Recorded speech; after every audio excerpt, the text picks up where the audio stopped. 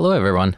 My name is Omar Zarifi, and I'm a developer at SideFX Software. Today, I'll be presenting this masterclass dedicated to the new Whitewater system in Houdini 17. Just to give an outline of this presentation, I'll begin by introducing the Whitewater system and providing a quick overview of the major changes we've made to it in Houdini 17. We'll then look at the components of the system and discuss each in a little more detail. Finally, I'll do some examples to demonstrate the new Whitewater in action. So without further ado, let's begin by establishing the job of the whitewater system, which is to enhance the look of a fluid animation with secondary effects that are difficult to capture with a single simulation, such as spray, foam, and bubbles. So here we have a beach where the whitewater system was used to generate the foam on top of it with the intricate patterning. And this makes the scene look quite a bit more natural and realistic. Here's another example where splashes and spray were added on top of an ocean patch to really sell the energy of the system and the rich interactions that supposedly occur between the surface and the surrounding wind. Let's talk about the major changes we made to Whitewater in Houdini 17. To start off, it's a lot easier to control Whitewater amount now. With the previous iteration of our system, the user had to manually specify particle counts, but given the particle counts, it was really difficult to predict how much whitewater would actually be generated when you go out to render the scene. Uh, with Houdini 17, we've made it a lot more intuitive to think about the amount of white water, and the low level task of managing particle counts is delegated to the solver. We've also added interparticle forces for the cohesive effect, and this endows the white water with much more natural fluid like behavior, and also prevents them from clustering too closely into tight clumps. Discrete particle states and hard transitions between them have been eliminated in favor of depth attenuated forces. So the previous system classified each particle as one of bubble, spray, or foam, and depending on the, the type of the particle, it would be driven by different forces. The problems occurred when uh, particles would constantly transition between these various states as they would cross the different thresholds with the new system, we don't suffer from this problem because all of the forces are continuously attenuated by depth, so there's no hard transitioning to, uh, to cause issues. We've also added a mechanism to facilitate emergence of cellular foam patterns. To this end, we've added repellents, which are special particles that are maintained by the solver, and these push nearby whitewater particles away and create the nice cellular foam patterns on top of the liquid surface. Introduction of more sophisticated forces and interactions inevitably has an associated computational cost, and our improvements furthermore greatly increase the range of phenomena that can be simulated. So without any additional factors, this results in more combinations of parameters to test, as well as each combination taking longer to produce results. So to alleviate this issue, we've introduced the notion of whitewater scale that controls simulation resolution. So this enables artists to quickly iterate at the lower resolution to try out different combinations and fine tune the various settings. And then once they're happy with the overall look, they can crank up the resolution to get some more detail out of it.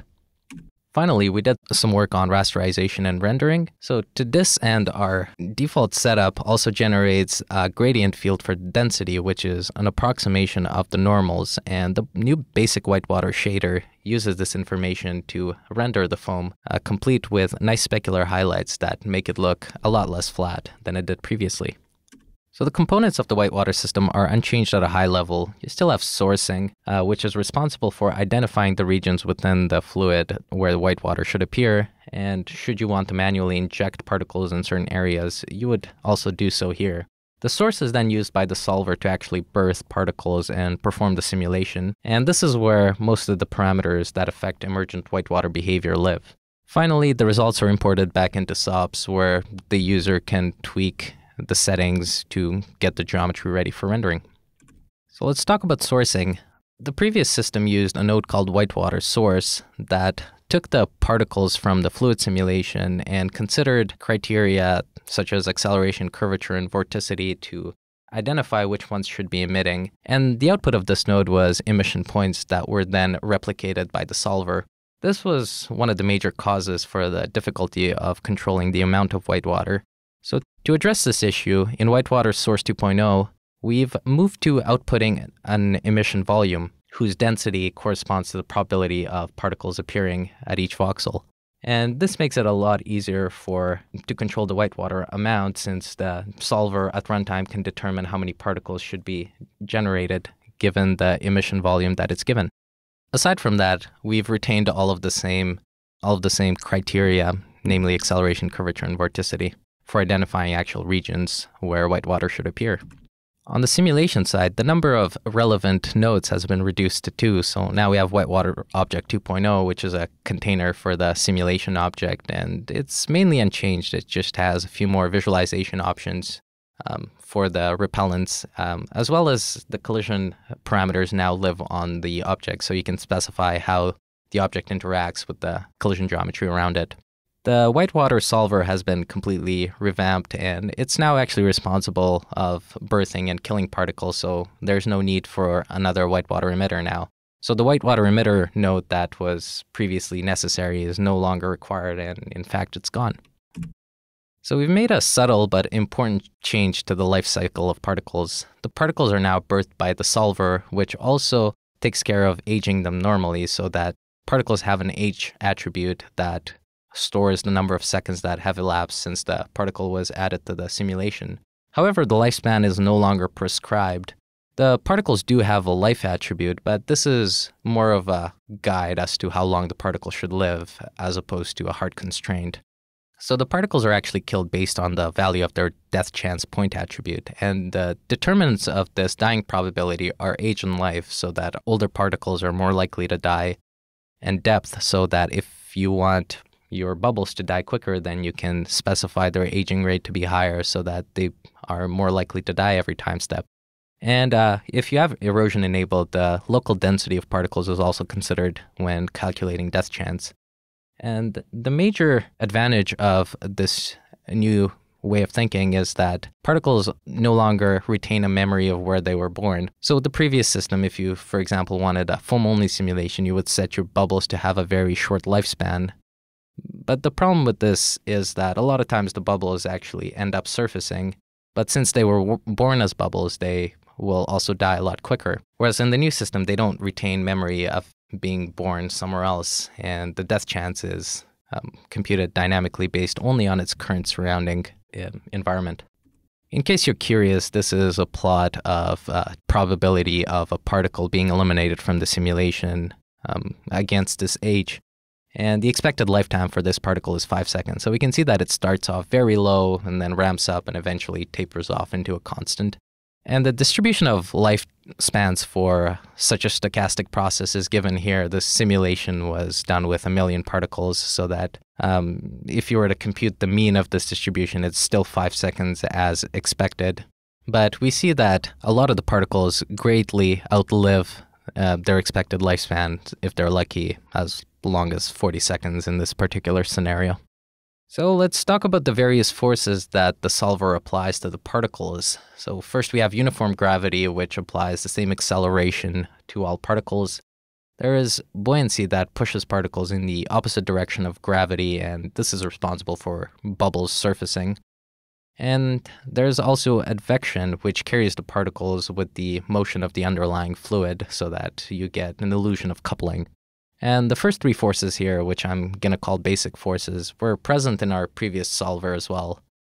Uh, the bottom three here, however, are completely new. So we have density control, uh, which prevents particles from clustering too closely, and also gives your spray and splash nice surface tension effect. And really sells the idea that this is a fluid. Um, there's also depth control, which pushes the particles toward the fluid surface, and you can use this to prevent particles from uh, either submerging or being launched off the surface so that you have foam that really sticks to the surface of the liquid.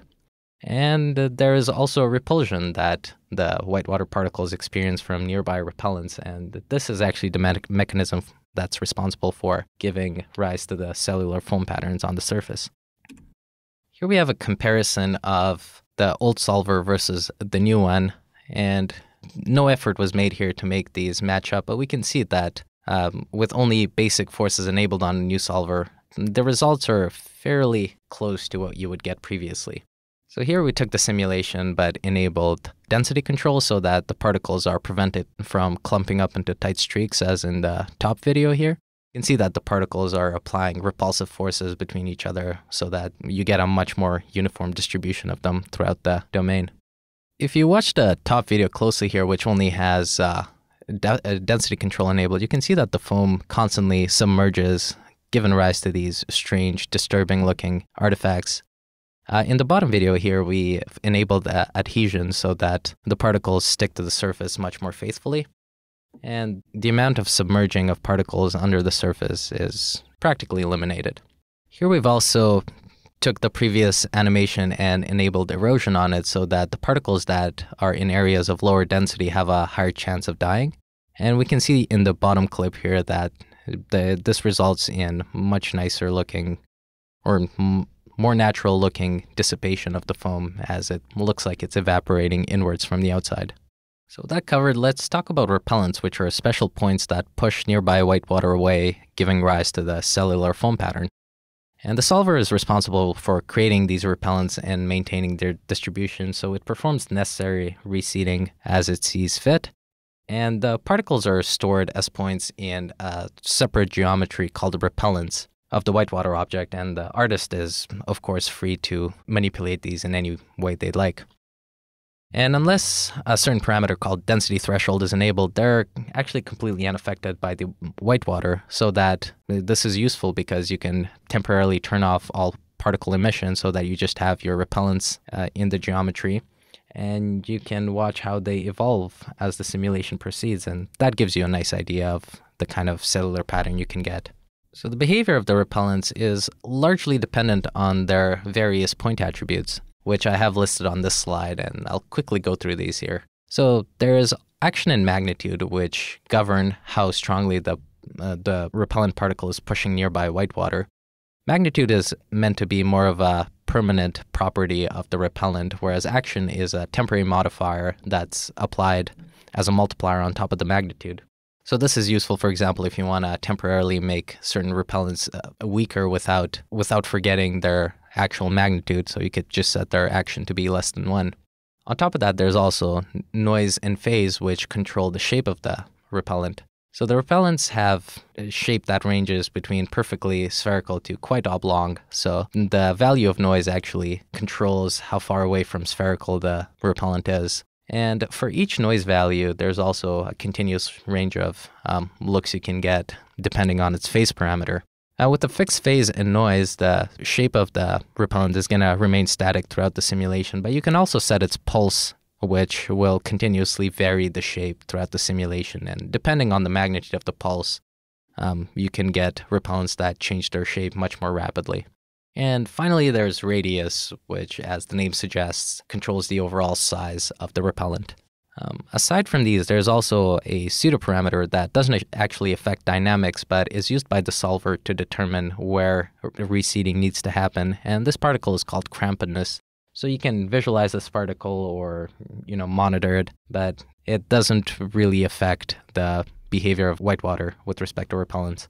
And if you have mortal repellents enabled, which is an option uh, that you may turn on, then the particles will also have two additional attributes called age and life, and these are fairly self explanatory. Once a particle's age exceeds its life, it will be deleted.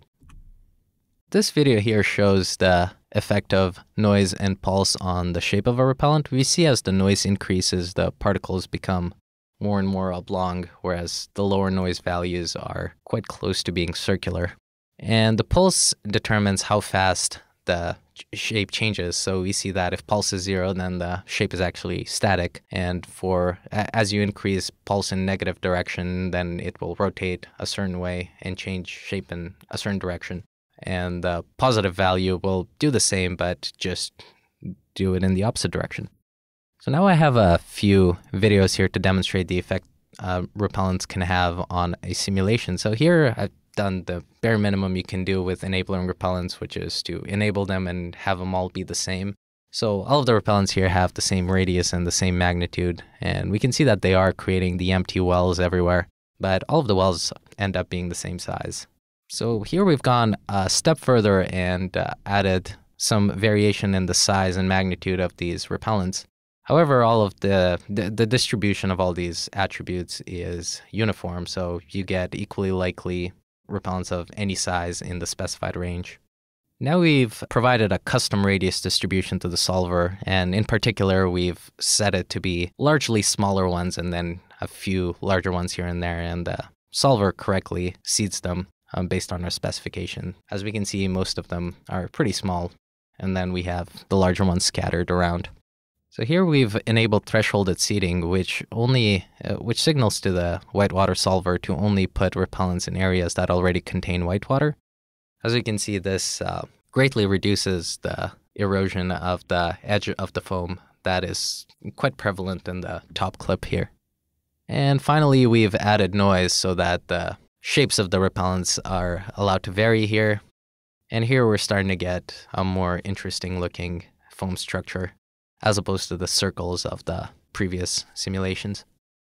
And here's a comparison of results of uh, the of Whitewater Solver 1.0 and the results of the new solver. Uh, we can see that we have the freedom to get quite a different look from the new solver, uh, whereas with the previous one, we were more or less restricted to the same streaky um, foam that you see here. So let's move on and talk about important rendering. Uh, so our default setup for the import network now has a wrangle that sets the density of particles based on their age as well as depth, so that you can have particles that fade in instead of suddenly appearing as the whitewater solver gives birth to them.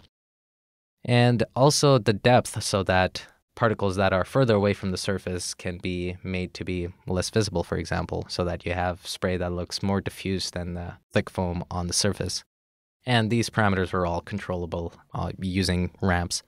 The inputs of this are then taken by the volume rasterize attributes node and turned into a fog volume of density. And additionally, we're now computing the gradient of this volume which is going to approximate a normal field for us that can be used by the basic whitewater shader to uh, to generate the specular highlights and make the foam look more volumetric and wet. So here's an example of how that looks, and if you watch the front of the ship, you can see the specular shimmering, and this gives the whitewater a much wetter look than you would get if you didn't have the specular highlights enabled. And if I can go back to the simulation side of things here, this is uh, the same simulation that was uh, that was performed at four different resolutions or uh, whitewater scales, and we can see that they all look basically the same. It's just that the lower resolution simulations have fewer particles on the top left, whereas the higher resolution ones have substantially more. And the one caveat of uh, whitewater scale not uh, affecting the overall behavior is that if you have uh, thresholded repellent seeding enabled, this only puts repellents in areas that already contain whitewater, which, and of course, your density, your density approximations are going to be quite different at different resolutions. So here we see two different uh, simulations with thresholded seeding enabled. And we can see that the repellents and the foam structure that gets generated is different, but the overall look is still quite similar. So let's shift gears now and do some examples. So with the first one here, I will just set up a simple simulation of a whirlpool and then add some bubbles on top of that with some custom seeding. And this is just meant to familiarize us with the structure of a whitewater simulation and the various components of it. So let's begin. I'm going to put down a flip tank, which is found under the particle fluids shelf here. And this just creates a flat tank for us and if we go ahead and simulate this, we see that nothing much changes as expected. So let's go back to the initial network where you specify the initial conditions uh, as well as the size of the domain. So I'm going to go ahead and increase this to be 10 by 10. And let's raise the water level just a little bit. There we go. Now to make a whirlpool, I'm going to create a custom force field or a velocity field that I would like the fluid simulation to follow. So let's put down a box and make it the same size as our simulation domain. And this is going to be mainly used to activate our velocity VDB. So let's call it velocity and I'm going to make this a vector volume and we'll use VDB activate ensure that the voxels inside the box are activated. And I'm gonna turn off the value here so that we don't write anything. So we can use the volume velocity SOP to create a vortex for us. So here we go. Let's add a vortex and let's set the radius to be 5. And I want it to fall off at the outer edge, but inside I want it to be uh, to have full speed. So there we go. This should create a vortex for us. But we can't really see it right now, so let's use a velocity or uh, volume trail SOP to trail points within this volume to see how this actually looks. So we see that this requires the points to trail and the velocity and the vector field, which we'll plug in. As for the actual points, we'll just we'll just use points from volume and hook it into the box. So that's a little too dense, so let's do 0.4. And we see now that we did in fact create a vortex and let's do it vect by time just so we're not fooling anybody with the length of these vectors. All right, that looks nice. However, this is not going to end up pulling anything down. So what we actually want is an indent in the middle. So let's see if we can incorporate that in. So to this end, I'm going to put down a volume VOP and hook up our velocity volume to it. And let's go in and try to incorporate it. So first thing I'll do is take a vector to float node.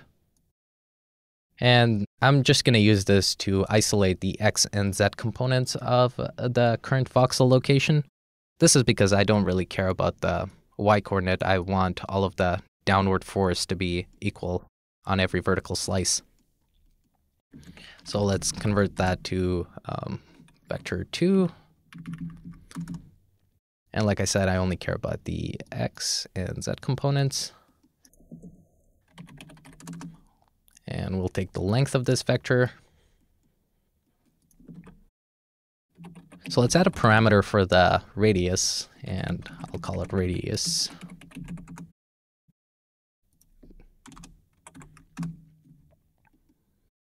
And let's fit, let's remap the value of the length from 0 to radius to be 0 to 1. So for this, we're going to use fit range, hook up our length, and for source max, I'm going to use this radius parameter. So now this takes our length value and then maps it to be between 0 and 1. And from there, we're going to evaluate this at ramp parameter which we will specify after. So we're going to call this the speed ramp.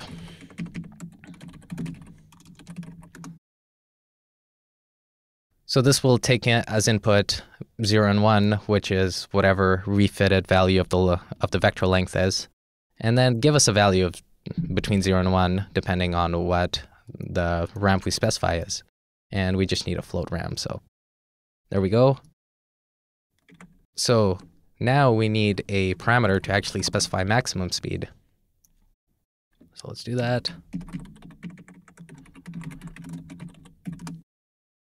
And multiply the result of the ramp with the maximum speed.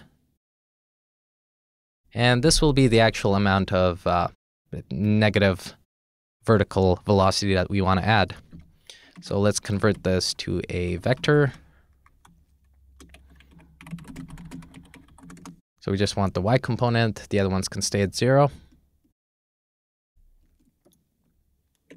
And finally, we're going to have to bind our velocity value. So let's bind velocity, which is the name of our vector field. This one's to be used for input and this one for output. So finally, we just need to subtract from our input velocity this new vector, get our output. And there we go. So let's set these parameters. For radius, let's use the same radius we used for the vortex, which was 5. Maximum speed, let's also use 5. And likewise for the speed ramp, we're to do the same thing we had previously. So we had one on the left, oops, and one in the middle, and zero on the right. Okay, so now if we plug this into volume trail, we should hopefully see it. Turns out that we need to specify that this is actually a vector. So let's try that. You can see that we're binding it as a vector. And let's subtract. And there we go. That looks like the expected result. Nice. So I'm just going to add a null now to get a convenient output location, and we can see that we have the velocity VDB here. We'll just call this out. And now let's go into our DOPNet and import this field. So to this end, we're going to use the new volume source node. And for the SOP path, let's just find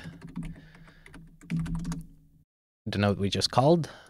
So, and we're going to do a single operation on a vector volume.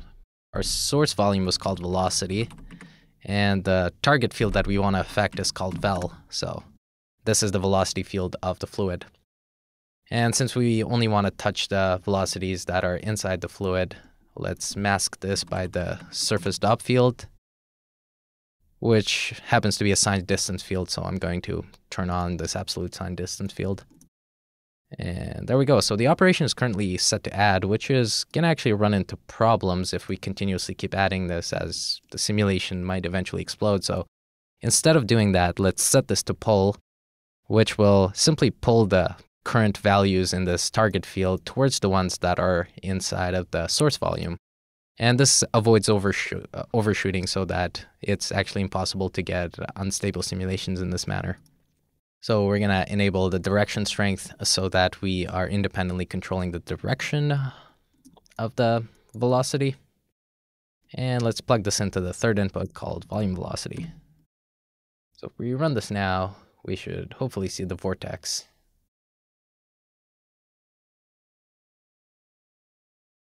And there you go, as expected. And there we have our animation of the whirlpool. Cool, so let's add white water to this.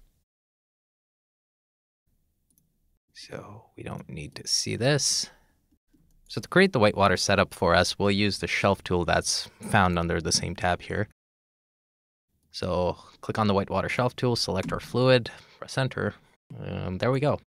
So this lands us inside of the DOPNet that performs the actual simulation.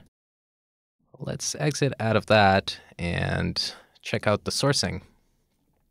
So now would be a good time to describe how this node actually works. First, it looks at the voxels that are within the specified range up here, if it's enabled, and then it maps their speed from this range to 0, 1 range, and that value becomes the base emission value for that voxel. From there, it also computes curvature of the surface field, the acceleration and vorticity of the velocity field, and you will notice that each one of these has a range that gets mapped to 0, 1. And then the maximum of these three values get, gets multiplied by the actual base emission amount to get the final emission value for the voxel. And that's the basic method of operation, but you will also notice that there's all these um, remap options so you can get finer control over how the actual mapping between this range and um, the emission actually happens. So we actually noticed that with the default values, we're not getting any emission here for most of these frames. And that's fine. So let's just roll our own for this specific setup. So to begin, I'm just going to add a sphere. And that's a little too large, so let's reduce its size. And I'm going to add a box as well, and I'm going to boolean subtract these just so I get a the lower half of the sphere. So I get just the lower hemisphere. So let's use boolean subtract. And I'm going to subtract the box, which is offset by half a unit vertically from the sphere. And so I don't want the top cap there. So I'll just treat the uh, treat the sphere as a surface. And there we go. So now let's scatter some points on top of it. But before we do that, actually, let's move this uh, to a nicer location within the domain. We don't want it to be in the center, and we probably want it to be lower down. And we can kind of think of generating a volcano that's constantly emitting bubbles under the liquid. So let's use a transform SOP to translate this.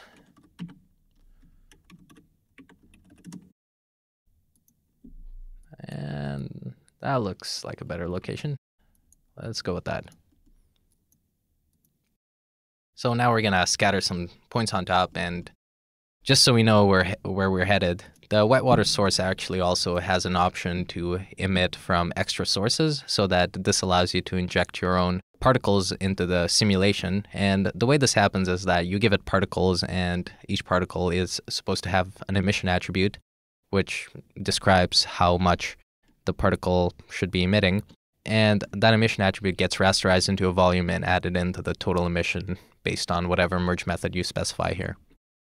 So for that reason, we're scattering some points, and since we need an emission attribute, let's use attribute noise to give us some varying attribute here. And let's call the attribute emit, and we need 1D noise. Let's make sure it's animated. So you'll notice there's a little button here, and if you click this, this will actually create the visualizer for you so you can see what this attributes, um, what's happening to this attribute in this node. And we see that the red values are the smaller range and uh, white is the middle of the range and the blue is going to be um, the lower values. And let's make sure it's using the 0, 1 range. And you see as we did that, it became a, lo- a lot more dull. And the reason for this is that um, actually simplex noise is really uh, a lot of the a lot of the noise is actually located in the center of the range. So not to worry, we're going to use the remap noise uh, here to actually get a uniform distribution out of it. In fact, I'm going to increase the left side here so that we get less emission than than we would otherwise. And since this is a fairly uh, small scale object here, we'll also reduce the element size and that's how that looks. Cool. So the other attribute that is needed for a whitewater source to uh, rasterize the incoming points is p-scale, which determines how far out the particle has influence. So let's create that. So I'm going to use an attribute create, p-scale, and the value. Let's just use something reasonable. Okay, let's plug this into the second input. And if we visualize this, and extra sources, we can see that it created a little fog here where we had the points. Seems to be working fine, but looks kind of blurry, so let's decrease voxel size of the emission volume. And there we go. So right now it's doing a lot of the computations on the various fields of the fluid, which is why it's running a little slower. For this particular simulation, we only care about the emission that we're manually injecting. So one thing we can do is actually uh, manually rasterize these attributes into a volume and we feed that to the whitewater solver. So let's put down a volume rasterize attributes node plug that into our points, and the attribute we want to rasterize called emit. We use 0.05 for the voxel size, just like we did with the whitewater source, and normalize by clamped coverage so that we get a smooth fall off. And there we go, we see that we're getting identical results now. But you'll notice that the scrubbing is a lot faster since this is actually oblivious of all of the um, fluid um, fluid fields that need to be analyzed here. And the output is still an emit VDB, just like the whitewater source. So let's feed that into this out null.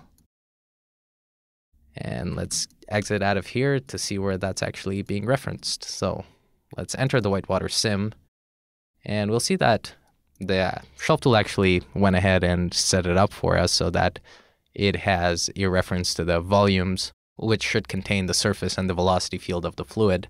And it also is pointing towards an emission source somewhere. So if we follow that, we'll actually see that this is exactly the outnull that we recently redirected. So let's go back here and see what's happening. Uh, so let's just quickly add a bit of noise just so that the particles st start with some random velocities and just momentarily turn off all of these fancier options under under the foam tab. Okay, let's run this and see what happens.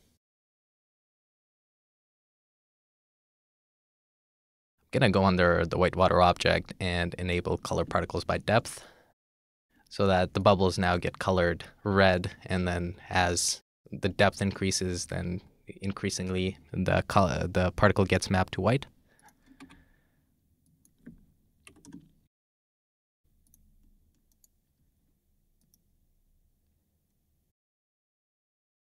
So we're seeing here that all of these particles are starting off at our source, but they're gravitating towards the rights for some reason here. So what's happening there? Well, when the particles are born, they inherit their velocity from the fluid at the same location, and the multiplier applied to that inheritance is this velocity multiplier under the emission tab. So let's go ahead and set that to zero so that the particles start stationary.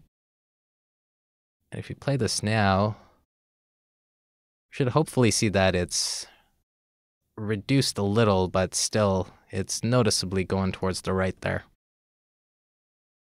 So what's happening?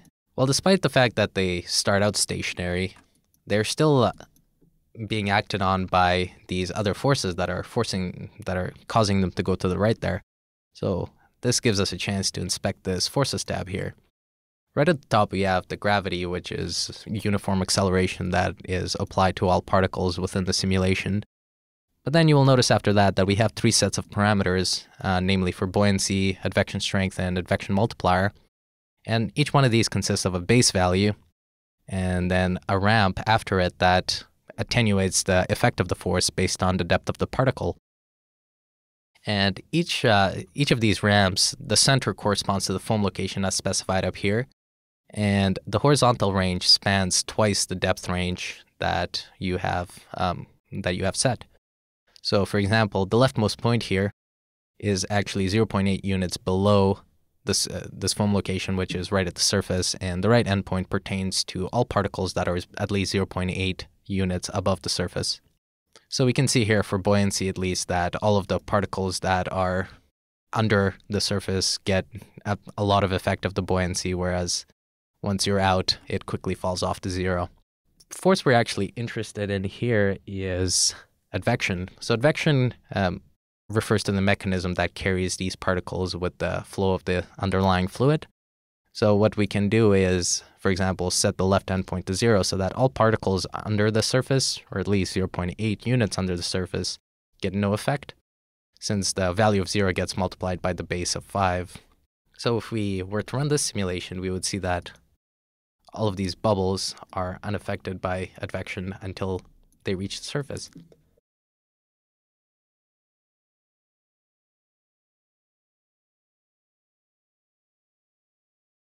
So that seems to have fixed our problem of the particles gravitating towards a certain direction. However, they also uh, the, the particles now look like they're not at all concerned with what the fluid's doing, which is a bit strange looking. So let's see if we can fix that. So let's reset this value back to 0.4 and instead worry about the multiplier. So the advection strength controls how closely the particles will follow the fluid velocity. But instead of following the fluid velocity, you can set it to follow a multiple of the fluid velocity. So for example, if I set this to 0.5, now the particles will be uh, advected by half the fluid velocity. And all particles are going to be advected uniformly because of this uh, constant want ramp.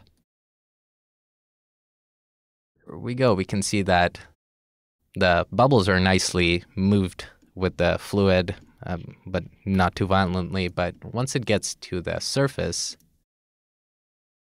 it looks a little strange because the foam looks like it's lagging behind the liquid underneath.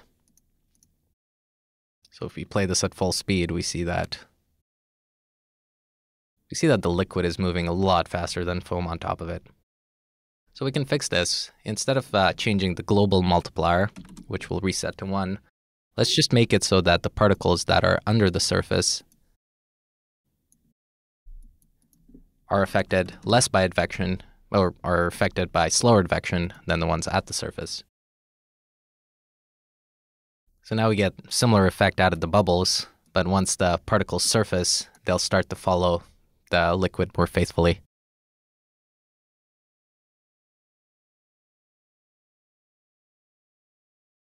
And there you go. Uh, basic simulation. So let's see if we can just do around with these settings. Um, see what happens if we enable density control, which is uh, which prevents particles from clustering too closely. So if we let this run now, we see that the particles are applying repulsive forces between each other. So that if we zoom in at the surface, we can see that we're getting a nicer uniform distribution out of them instead of a very, very tight clump. So let's quickly check this out at full speed.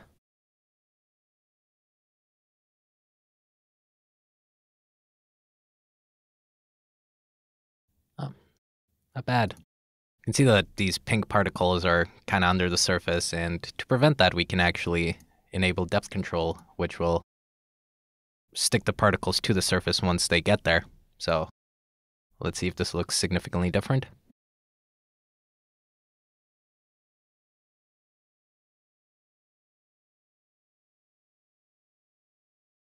Particles are clearly sticking a lot better to the surface now compared to the previous iteration.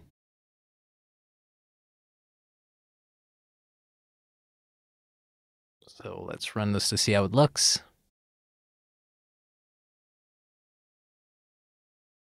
And there we go. Simple example of a whitewater simulation demonstrating how you can use these depth attenuated forces to get different effects for foam at different or whitewater at different depths.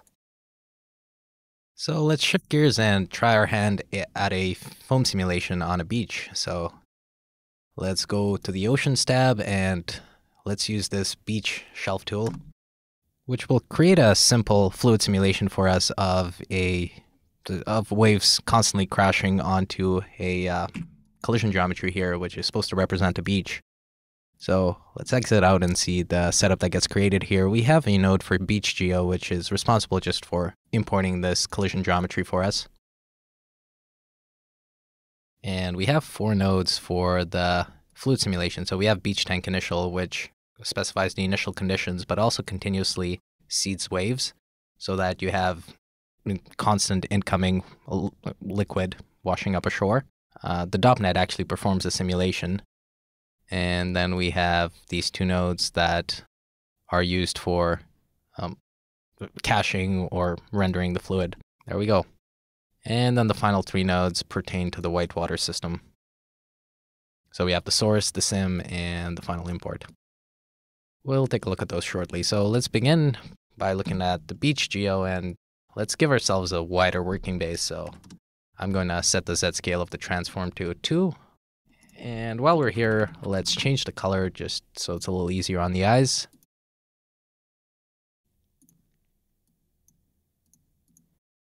There we go.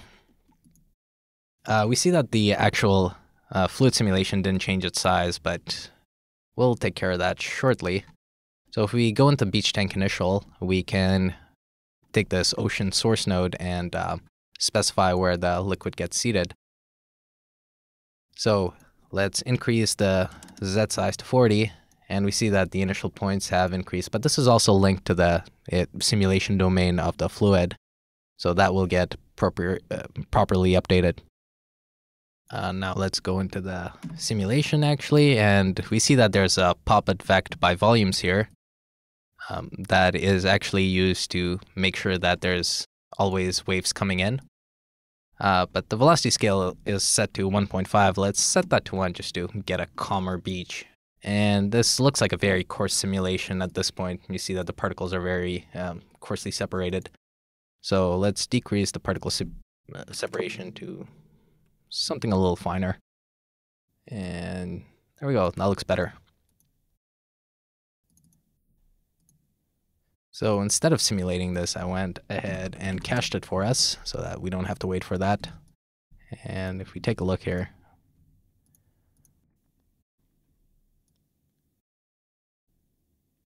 we see what's happening. We have the liquid constantly being pushed up the shore and then gravity pulling it back. So a fairly standard beach simulation. Uh, so let's look at the whitewater simulation that's being generated here as well. So let's enter the whitewater source and this is actually the exact same setup we saw in our previous example.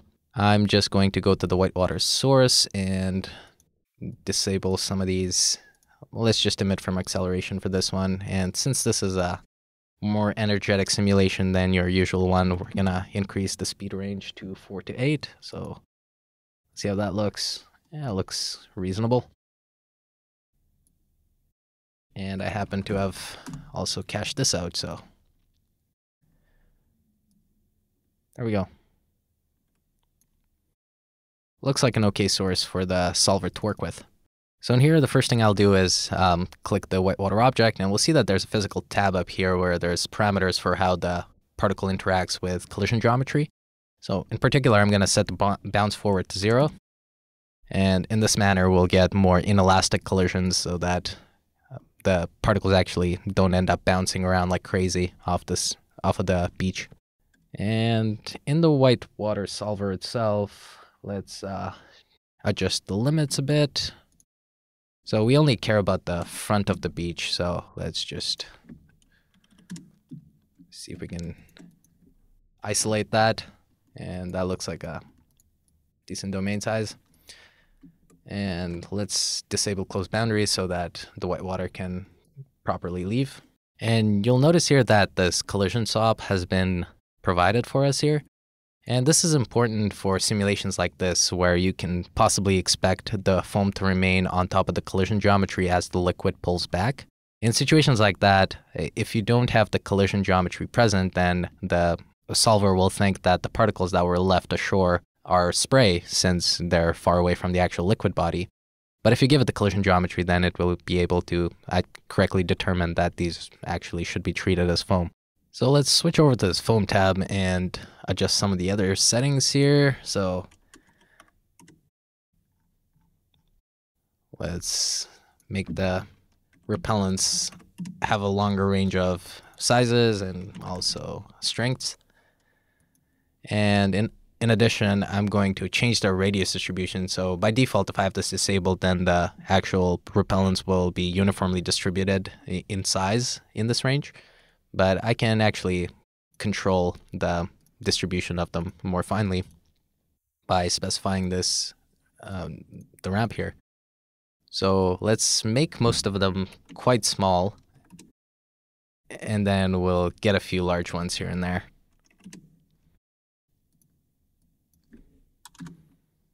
Right, that looks reasonable. And the last thing I'll do here is set the control range for depth control to be fairly large so that particles find it difficult to separate from the liquid. And we're going to set the off velocity angle to zero. So this parameter is useful for disabling adhesion for particles whose velocity vector is co-directional with the uh, with the surface normal so that you can have particles separating out of the leading edge of um, wave, for example. In this particular scenario, we only care about getting the foam on the edge here, so we don't need to let that happen. Uh, and the last thing I'll do is that this is set a fairly large whitewater scale for us, so that would be a very low resolution simulation. Let's reduce that a bit. And likewise, I'm going to reduce the voxel size. So the voxel size is used for approximating particle density, and that particle density in turn is used for two different purposes. One is for emission limiting, and let's just reset emission amount to one. Uh, so lim limiting emission, it, if this is enabled, then the whitewater solver will look at the how much whitewater is already in a certain location, And if there's enough there already, then despite what the emission source is telling you, then it will not seed anymore. And this is very useful for preventing over emission, which can be problematic if you have density control enabled since all the particles are supposed to have mass and you can't have too many in, a, in the same spot. So that's one use of the um, density volume. The other use is for this erosion feature. So this uh, prevents particles in more dense regions from being killed or reduces their death chance, whereas the particles that are in more loosely distributed areas uh, get their death chance um, boosted as specified by these parameters. And the density estimates it uses come from the volume of this voxel size. So there we go, and at this point we can run the simulation. Right off the bat, we see these points appearing, but they're not actually whitewater points. Those are repellent particles. And uh, you can be certain of this if you set uh, color particles by depth, for example. This will only color actual whitewater. And if you enable repellent visualization, you'll see that these repellent particles will be will become little spheres.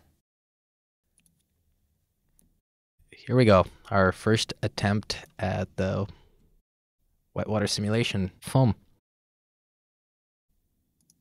So I went ahead and flipbooked this for us. And it ends up looking like this. So not bad for a first attempt, but what I really want here is nice, smooth um, leading edge emission, and I don't really care about whitewater appearing in the from the incoming waves. All right, so with that in mind, let's change our sourcing so that we only get emission at the leading edge. Let's go back into the whitewater source network here. And on the whitewater source, we're going to disable acceleration now and enable curvature, which is useful for determining areas of high curvature, such as waves or the leading edge. So I found that the range of 1 to 3 of curvature works pretty well, and I am just going to reduce um, the speed range to be 1 to 2, since the leading edge is actually going to be fairly slow moving, and it, I want it to be emitting despite that. And the other thing I'll do here is reduce our limit by depth range do something like that. So like, let's take a look at what that gives. Well, not what we want, turns out. Uh, let's go ahead and also reduce the emission size since we don't need it to be this large.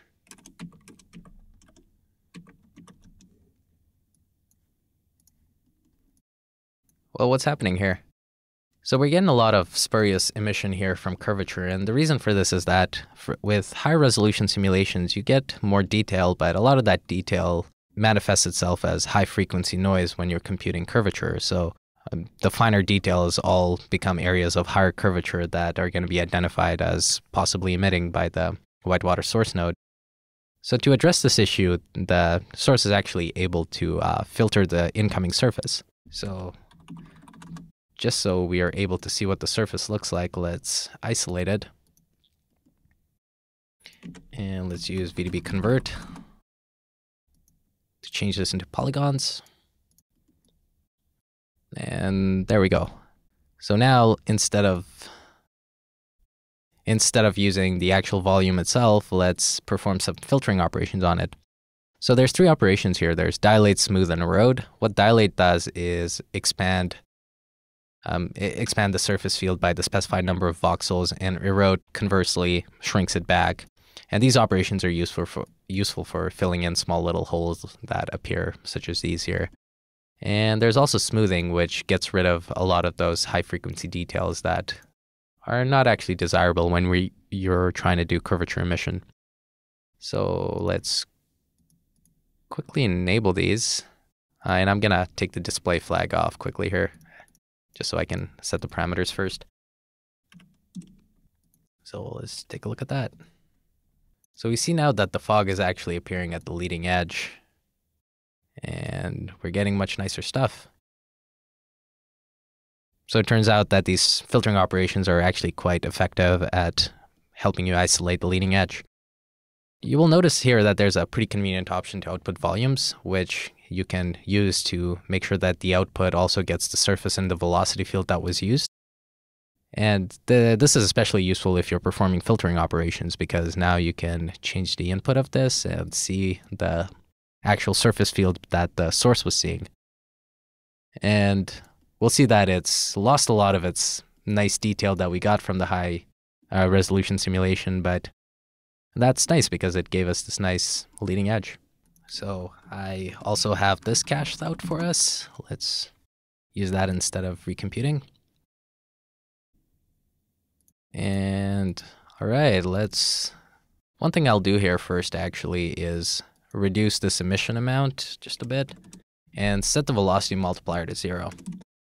If you recall here on the whitewater source, I set the depth to contain positive values, which means that we will get emission outside of the volume, out of the liquid volume, that is.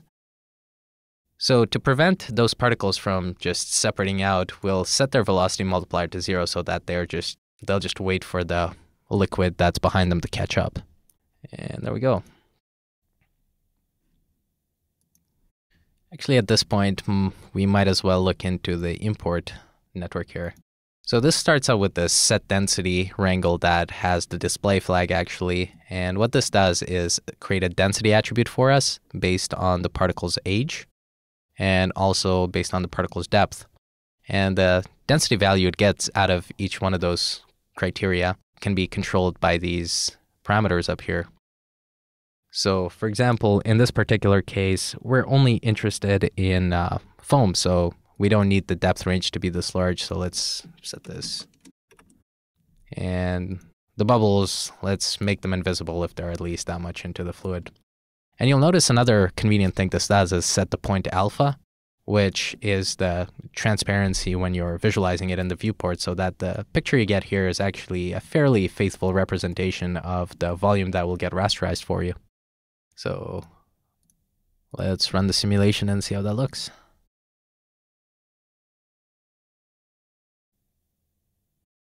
That's starting to look nice here. So here we have the flipbook of that animation with the fluid particles underneath. And we see that indeed we're only emitting at the incoming edge. All right, let's switch gears and try our hand at a splash simulation. So here we have a simple fluid simulation, just um, some water energetically crashing against rocks. And we get some splashing, but we can probably do better by using the whitewater solver with it. So let's see if we can get nice, thick, viscous looking splashing from this fluid simulation. So here it is. Let's, um, let's apply the whitewater tool on it. So we're going to select the fluid object. And there we go. So it created the uh, networks for us. Uh, one thing I'll do manually here is enter the splash sim network and copy all of this um, collision geometry from it and throw that into our new sim. There we go. So let's quickly look at the source and see what this has given us. Yeah, it looks, uh, doesn't look bad. Let's just Let's just use vorticity though. Looks like a fine source to work with. That'll do. So let's go into our actual simulation network and on the whitewater solver, I'm going to adjust a few parameters to uh, uh, to make this a better simulation. So let's start off by setting the whitewater scale to something higher since that would give us a lot of particles and we don't care about that at this point. Um, the other thing I will do here is set the bubble's aging rate to 100 so that all of the particles that end up inside of the liquid uh, get their death chance boosted by a lot so that we, we're not going to end up with a lot of bubbles, which is fine because we're, we just want to focus on the spray here. So that's good for now. And another thing I'd like to do actually is just to increase the limit sizes so that we get a little more vertical room to work with. So let's go to the foam tab and adjust the settings here. So first of all, since this is a spray simulation, we're not gonna bother with repellents and actually the depth control is gonna be detrimental here. So let's go ahead and turn that off. And the density control is actually the most important um, determinant of how your spray is gonna look. So let's focus here. First of all, we don't care about particles inside of the fluid. So let's just start at zero and go to some value here. And for constraint stiffness, I'm going to increase that slightly. And if we enable variable stiffness, we'll see that it'll reveal this uh, hidden parameter for us, which allows us to control the stiffness of the density constraints for particles at different depths. And uh, another way you can use this is to actually make this depth range open at one or both endpoints. Uh, in particular, you will see that by default, all of the, both of the endpoints are actually at zero, so that particles that are under zero depth are actually unaffected, and likewise for particles that are higher than 0.5 depth. But if I do this, for example, then I get all of the particles that are um, beyond 0.5 depth to be affected so that all spray particles are going to be uh, subjected to uh, density control and get nice uh, clumping effects to them. And now let's increase the neighborhood size so that we get some longer range forces propagating among our um, strands of fluid. And for tensile radius, let's just increase that a bit. So these controls here are fairly important for the look of the surface tension you get. And uh, uh, increasing this tensile radius actually gives it a nicer distribution. So normally you would play around with this and find the settings that work for you. And there we go. So Let's see how that looks.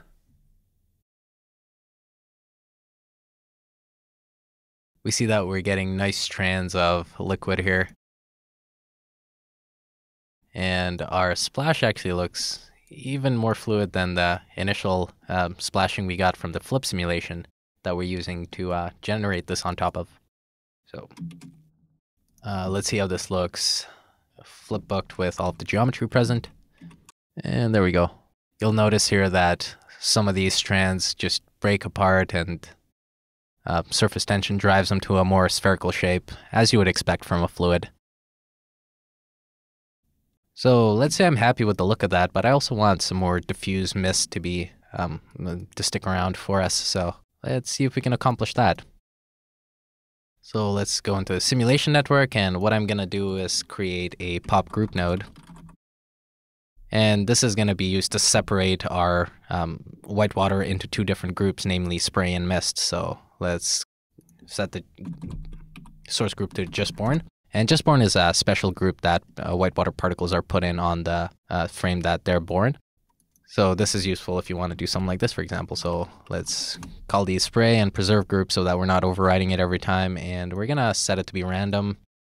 And let's just say 20% of the particles are going to be put into spray.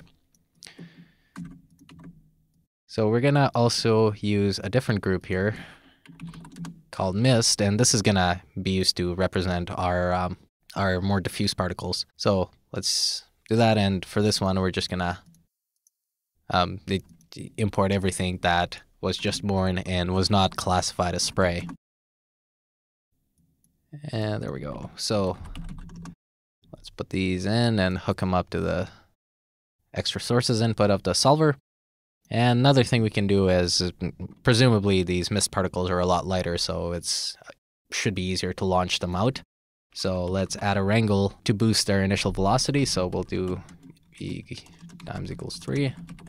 So this triples their initial velocity. Well, right now it triples up velocities of all particles at every time step, what we need to do is specify the group and we'll say just born that are not spray. So this is just born mist particles. And the last thing I want to do here now is actually uh, make sure that the spray particles are properly affected by density control so that we still get that those nice liquid strands. But for the mist particles that are supposed to be diffused, they'll just fly around ballistically. So this is fairly easy to accomplish, so uh, let's add another wrangle and make it act on spray.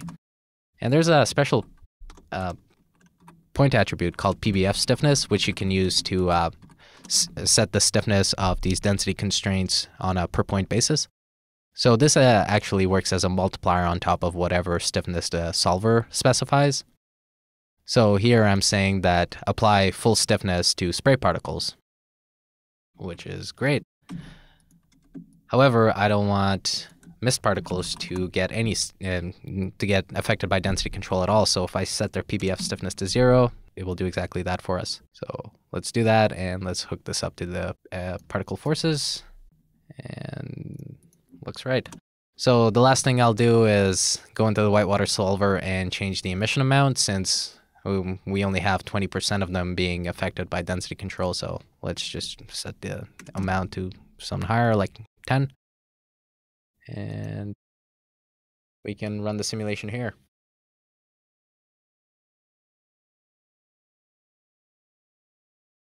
And as the simulation proceeds, we will it, see that it looks a, a bit strange because all of the mist particles are kind of blending in with the spray and kind of making it more difficult to see all of those strands that we saw previously. So actually, if we go into the import network, we can already see that it's a little easier with all of the alpha compositing.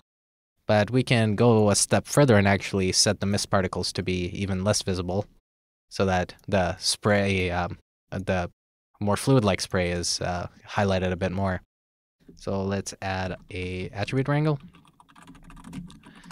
And before we change anything, if I middle click on this, we'll see that it actually has groups called mist and spray, so it will retain all of the pop groups that you create in the DOPNet. So this wrangle, I want to only affect mist particles, and I'm going to say these going to be my mist density.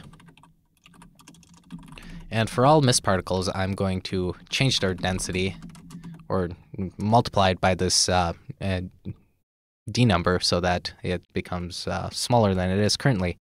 And we'll do the same with alpha so that the viewport is uh, represents what we would see if we were to go up and rasterize this. So there we go. Let's set this to something a little more visible, 0.3, that sounds reasonable. And there we go. So we can we still see the more liquid stuff here, and the more diffuse spray is still visible, but it's a lot less visible than it was previously. So how does this look flip booked? Let's take a look.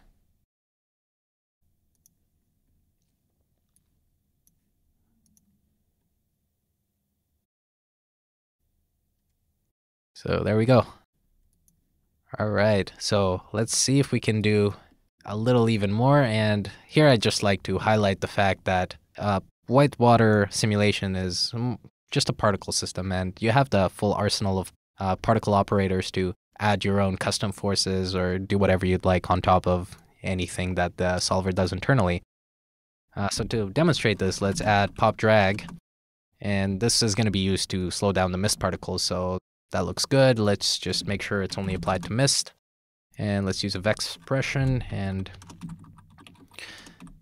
I'll make the uh, make this drag more apparent as the particle ages. So let's multiply this by fitting up the age from 0 to some max age that I'll worry about later. Do 0, 1. Cool, and for the max age itself, we'll set it to 3 so that once a particle is 3 seconds old, then it will fully, fully feel this drag force. So that's drag, but in addition to drag, let's also add a um, some kind of force that simulates wind for us. So let's do POP force and let's just make it something strong. And I'll also add a lot of noise to it. And once again, I want this only to affect mist. And like we did with the drag, let's make sure this is only active once particles age so that once they're, as soon as they're born, they're more or less acting ballistically and just following the fluid velocity that was uh, given to them. So here, let's multiply force by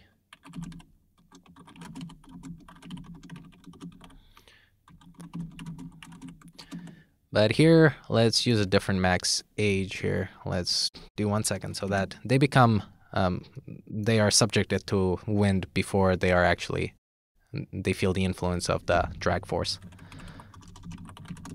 So let's add a merge node, connect these in, and them here. And the last thing I want to do just to demonstrate how you could make um, use of the death chance and exploit that. So let's say that I want particles that are mist particles that are higher up uh, to uh, kind of just dissipate and become invisible. Um, so I can do that by boosting their death chance actually. So let's add a final geometry wrangle. And once again, only act on mist, and we'll do we'll multiply their death chance by fitting up their y coordinate between some minimum and maximum. And if it's at minimum, we'll just leave the death chance unchanged, so multiplied by 1, and at maximum, we'll um, just multiply it by some uh, value here that we'll specify below. For the range, let's do 0 to 20, and for the for the multiplier, let's say 10. Cool, and I'm going to uh, hook this into the post solve so that we have the most up-to-date information about the particle's location that we're using here to determine the death chance modifier. And that's basically it. So if we run the simulation, we should get nice splashing from the spray particles as well as diffuse mist that is affected by wind and air drag and also the particles that are higher up or further away from the ground plane here will get their death chance um, boosted so that we kind of just see them dissipate. So let's just go ahead and see this at full speed.